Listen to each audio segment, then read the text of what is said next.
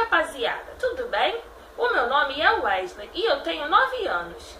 Eu moro no Morro da Penha, lá em Niterói. Vocês conhecem? Pois é. Eu sofri um acidente quando eu era pequenininho, no carro do meu pai. Um ônibus bateu na gente e eu fiquei assim, sem sentir as minhas pernas. Mas eu faço tratamento. Lá onde eu faço tratamento, eu conheci uma amiga chamada Maria. Vocês conheceram ela? Não conta pra ela, mas eu sou apaixonado por ela. Eu tive esse ano na turma da tia Renata como terceiro ano. Fiz vários amiguinhos. Adoro os meus amiguinhos.